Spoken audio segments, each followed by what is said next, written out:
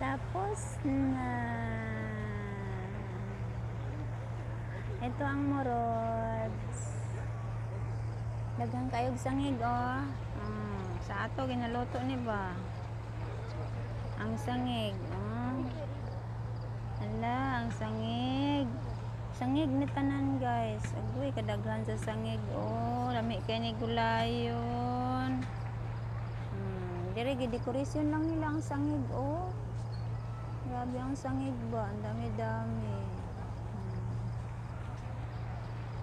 Hmm, nya, siman. Siman-siman. Oh, siman-siman. Hmm, lami kay mga gulay yung tad rin, no? Mga sangig ba? Ayan, no? Uy, lami kay ni sa manok ba, no?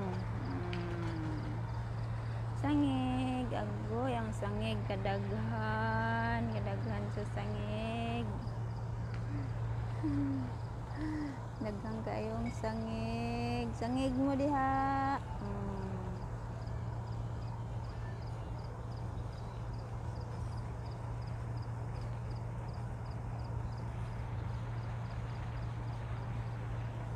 Sangig, unya, kaning iuban, sani?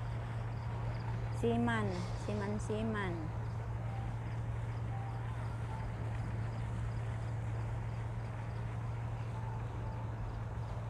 Hmm, sangig para sa manok. Hmm, gulay na kog sangig unya. Pero bawal man manguha dire no. Kay ilaha man ning tanom dekorasyon. Dekorasyon sa murud.